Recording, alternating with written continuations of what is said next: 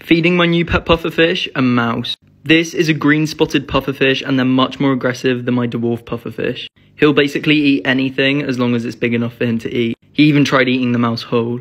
And that is my pea-sized pufferfish. There's a big difference. First, we're gonna need to cut the mouse into itty bitty pieces. Also, this isn't his permanent home. He does have a tank. I'm just waiting to put him in. And now we have some pieces of mouse. I'm gonna pour them in for my puffer.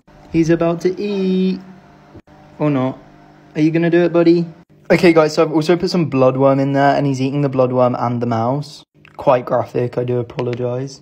These pufferfish will basically eat anything, and he's really going for it. Comment what else you want him to eat, like octopus, shrimp, anything.